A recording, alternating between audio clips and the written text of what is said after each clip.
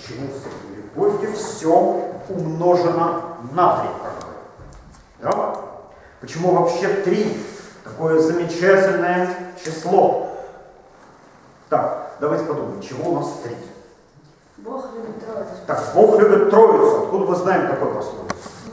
Ну, троица, по-моему, только по. Ну, троица это, собственно, тоже три лица Бога. Да? Отец. Бог Отец, Бог Сын, то есть Христос, Бог Дух Святой. Так, Троица. Хорошо, еще. Еще чего? Три. Ну, это просто. Ну, в загробном мире три части. Как? В загробном мире В загробном мире может быть, да, вот там-то три части. Удар. Мгм. Так, еще.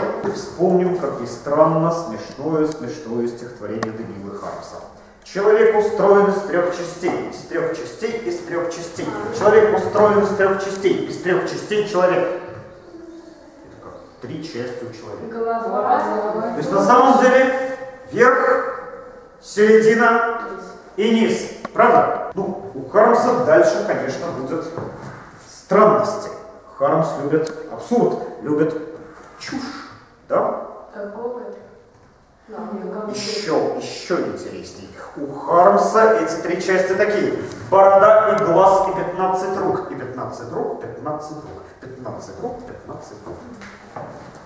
Нормально. Три части. Борода, глаз, 15 рук. Дальше это немножко рассеивается, впечатление. А все же не рук 15 штук, 15 штук, 15 штук. А все же не рук 15 штук, 15 штук, да не рук.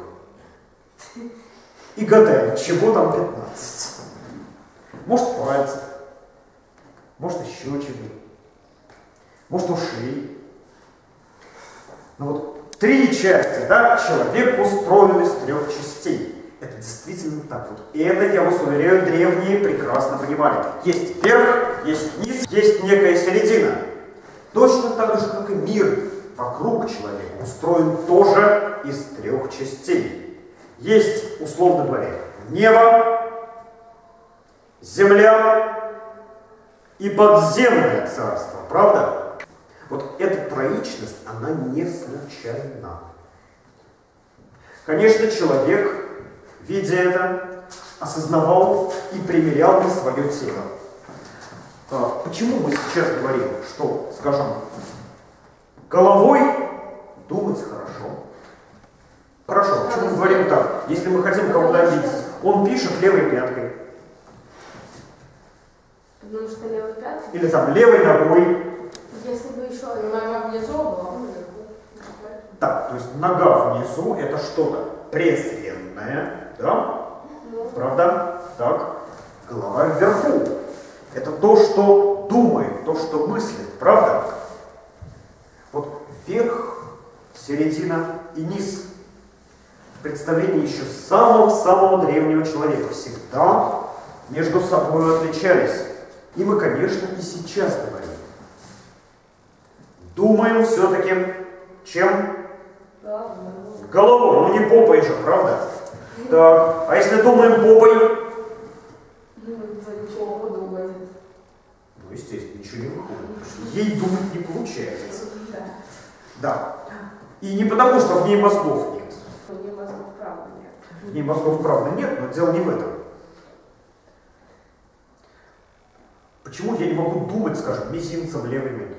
Потому что нога внизу. Потому что нога внизу, конечно. Она как бы ближе к земле. А получается, все, что ближе к верху, то как бы счастливо, да? Там умно. Ну, вообще лучше. Лучше быть ближе к небу, чем ближе к земле. И тоже понятно почему. Потому что в земле лежат покойники. Мы же не покойники, правда?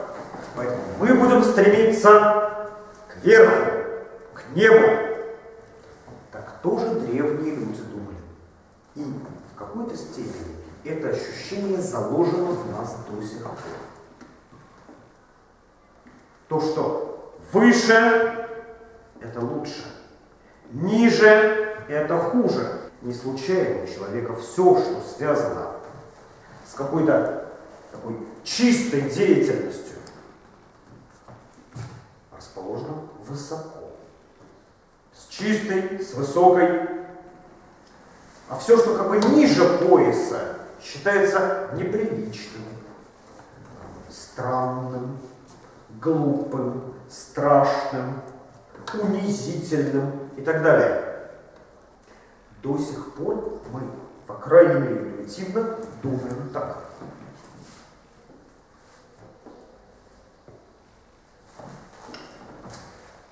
Но если дальше говорить о нашем верхе и низе,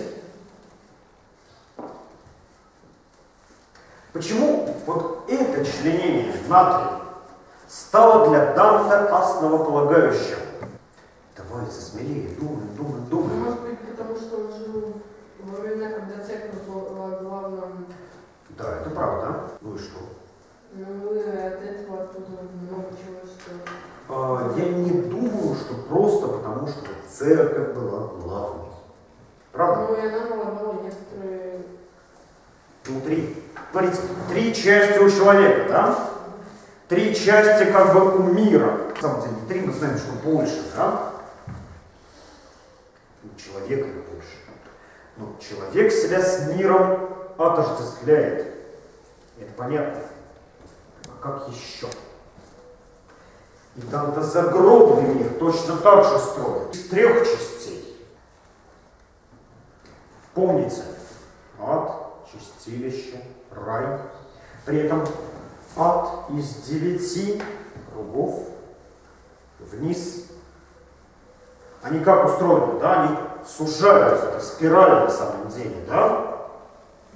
Представь себе, девять кругов вот так по спирали. До самого низа. Конечно.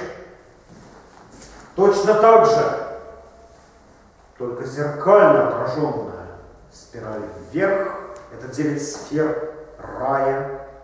Да? И точно так же у Данте перцинами трех стишей написано 33 песни в каждой из частей.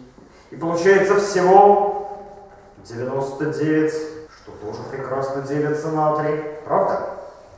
Значит, ему, наверное, эта троичность была как-то важна. Нам и сейчас важна троичность. Давайте вспомним, где мы употребляем слово три. Когда считать, Так, Бог Троицу любит уже было.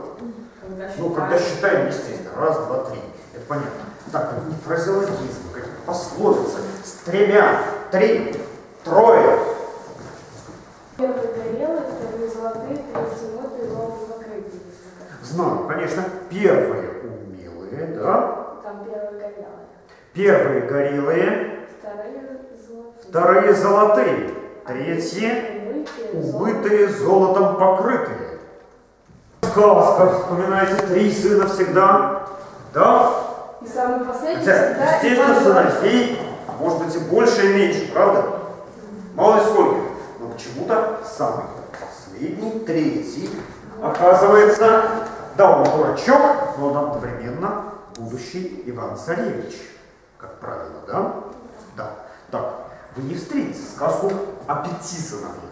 Сказки Так, бывают еще. с. Думаем, думаем. троекратным. Так, сказки бывают с повторением. Пример. Да, например, Пример давай сама. Ну, даже не с повторением, а, например, на распутье. Обязательно три дороги. Так, на распутье действительно три дороги. А, да. Как правило, хотя на распутье, в общем-то, может быть сколько угодно дорог. Ну, сказки. Может две, может четыре, может шесть. Но в сказке пойдешь либо прямо, либо направо, либо налево, да? Ну, Так, хорошо, еще. змея Три головы. У змея три головы. Бывает и девять, бывает и двенадцать, но заметьте, что это кратно трем. Еще, может, что там у змея одну голову отрубил, там три выросло. Отлично. Одну голову Иван Царевич отрубает, три вместо нее вырастает. Не две, не четыре, не шестнадцать. Так, угу. еще. Троица. Ну, может быть, когда он сражается, первые два он проигрывает, а потом побеждает. Очень часто. Ну, это, собственно, да, о чем Катя говорила. Частый сюжет в сказке. Некое первое испытание дается, второе и третье. Как бы заключительное, да? Самое важное. Так, еще что-нибудь. Три. Пословицы вспоминайте. Ну, Ну, там, три толстяка. Толстяка, согласен. У Юрия Леши, наверное, их тоже не случайно три. Он мог бы назвать и пять толстяков, правда? Но три толстяка звучит гораздо лучше. Так, три поросенка. Сказка братьев Грин, записанная на основе народных, переведенная нашими людьми, да? Так, три поросенка. Их не семь, их не восемь, их не десять, их почему-то три. Так, еще. Ну, говорят, чаще встречается один человек, два его, ну, дома тоже втроем. Э, ну это непонятно где, давай уточним немножечко, да? Потому что так непонятно. Это Это может быть в любом романе, да? Два человека встретились, третий подошел. Подумаешь, важно, чтобы их вместе было три. Чтобы они составляли некую троицу. Три мушкетера. Три мушкетера, слава богу. Вспомни роман Дюма. Сколько там на самом деле мушкетеров? Четыре. На самом деле их четверо. Почему роман называется «Три мушкетера»? Ну помните, Атос, Портос, Арамис и Д'Артаньян, как-никак. А, ну, Четверо? что Но роман не называется Д'Артаньян, не называется «Четыре мушкетера», а называется почему-то «Три мушкетера». Может быть, потому что один предводитель, все остальные там. Э, У них не было предводителя, согласись. да. Вот среди этой четверки, да, предводителя, конечно, не было. Ну, как- капитан Драгоньян, да? Да, да, Драгоньян. Но он тоже не предводитель. Всяких сказок два, слишком мало, а четыре это слишком много. Может, два это маловато, а четыре много. На самом деле это все работает на наше с вами подсознание. Потому что три звучит лучше, чем пять, шесть. Четыре, правда, тоже неплохо. У нее есть тоже свое символическое значение. Кстати, песня, песня есть. Три белых коня. Да, Вот. там это три вот. белых коня, Три да? белых Декабрь, январь. И февраль. Февраль. Месяц, ну, в каждом, ну, летом три месяца, э, зимой три месяца, весной три месяца. Ага, то есть мы тоже год можем разделить как-то, как бы, ну, не то чтобы на трое, мы делим его на четверо, но по три. Да? Да. Ну, это уже скорее позднейшее наслоение. Вот эти наши три, вы не забывайте, и когда встретите три, знайте, что вы встретились с самым древним, что у нас есть, и что у нас есть до сих пор, что мы в голове держим, на самом деле, помимо нашей воли, до сих пор. Вот куда нас завел разговор о трех стишиях, о терцинах, о терции. Хотя, конечно, терцинами пишет далеко не всякий.